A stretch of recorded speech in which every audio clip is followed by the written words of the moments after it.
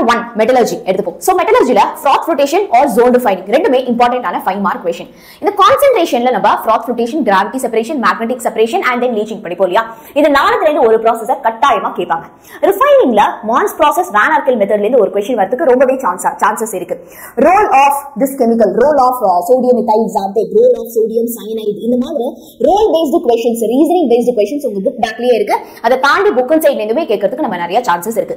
Fraud rotation question கேட்டாங்கன்னா மறக்காம நீங்க டயக்ராமா வரைஞ்சிருங்க. சோ இப்போ ஸ்கிரீன்ல உங்களுக்கு புக் பேக்ல என்னென்ன இம்பார்ட்டன்ட் புக் இன்சைட்ல என்னென்ன இம்பார்ட்டன்ட் அப்படின்னு கிளியரா இங்க நான் கொடுத்துருக்கேன். மறக்காம அதை மார்க் பண்ணி நீங்க ஃபர்ஸ்ட் ப்ரியாரிட்டியா படிச்சு முடிச்சிருங்க.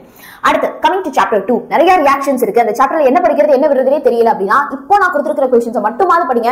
இந்த சாப்டர்ல இருக்கிற இம்பார்ட்டன்ட் கொஸ்டின் மட்டும் கூட நான் தனியா லைவ் வந்து சொல்லி கொடுத்துருக்கேன். இந்த சாப்டர்ல structure of டைபோரேனோ difference between diamond and graphite இது ரெண்டு தான் பெரிய கொஸ்டின் ஃபைவ் மார்க் மாதிரி கேட்க சான்சஸ் இருக்கு. ஜியோலைட்ஸ் கேட்கலாம். கேட்கறதுக்கான வாய்ப்புகளும் வந்து இருக்கு. சரியா? ஆனா ஸ்ட்ரக்சர் ஆஃப் டைபோரேனோ நல்லபடியா செமையா படிச்சிருங்க சோ இந்த சாப்டர்ல ஒரு சில ரொம்ப ரொம்ப இம்பார்ட்டன்ட் டூ மார்க் கொஸ்டின் இருக்கு. அதுதான் நம்மளுடைய inert pair effect structure of inorganic benzene அதை போராசின் போராசோல் அப்படின்னு நமக்கு வந்து கேட்கலாம். தென் மெட்டாஃபி ப்ராசஸ் அதான் அலுமினியம் குளோரைடு உடைய ப்ரிப்பரேஷன் ஹைட்ரோபோரேஷன் அப்படின்னு அதெல்லாம் புக் பேக் கொஸ்டின்லயே வந்து உங்களுக்கு இருக்கும். ஃபிஷர் ட்ராப் சிந்தசிஸ் அதுவும் புக் பேக்ல இருக்கும். இப்போ நான் சொன்ன list of few question four to five கொஷின்ஸ்ல டெஃபினட்டா ஒரு கொஸ்டின் நீங்க வந்து டூ மார்க் ஒரு த்ரீ மார்க்ல நீங்க உங்க கொஷின் பேப்பர்ல பார்க்கலாம்.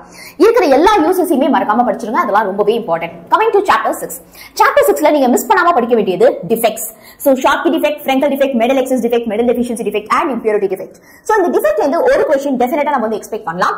ஸோ டிஃபெக்ட் பேஸ்டு கொஷின்ஸ் உங்களை எழுத சொன்னாங்க. ஷார்ட்கி டிஃபெக்ட் ஃப்ரெங்கல் டிஃபெக்ட் எல்லாம் கேட்கறாங்கன்னா அதுக்கான டயக்ராம தயவு செய்து நீங்க வந்து எழுதிருங்க diagram it carries one mark and example இருக்குன்னா எக்ஸாம்பிள் சோடியம் குளோரைடா இல்ல சில்வர் போமேடா மறக்காம எழுதிருங்க.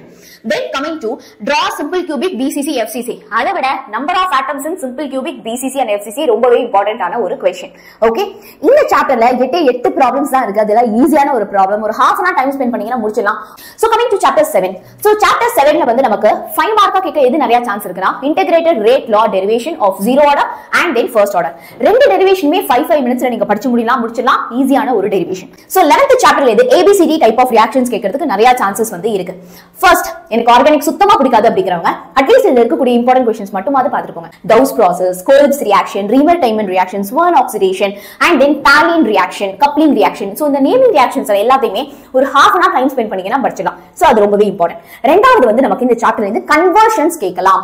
ஓகே ஸோ நல்லா கவனிச்சீங்க அப்படின்னா இங்க பாருங்களேன் கிளைகாலுடைய oxidation dehydration reaction கிளிசராலுடைய dehydration reaction so reactions of glycol and glycerol ரொம்ப ரொம்ப important then chemical properties of ஃபீனாலும் esters sorry ஈத்தர்ஸும் ரொம்ப ரொம்ப இம்பார்ட்டன்ட்